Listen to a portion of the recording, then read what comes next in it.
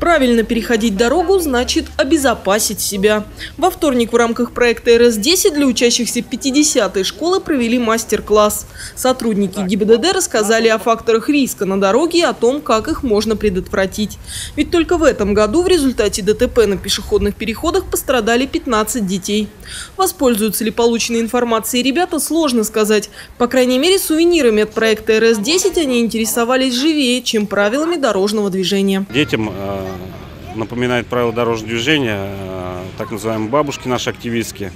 Вот, по одной простой причине, потому что, как правило, родителям некогда, родители работают, а бабушки и располагают к себе не хуже, чем родители, и у них больше свободного времени, которые могут прийти после школы, забрать своих внуков, внучек э, и спокойно перевести через проезжую часть.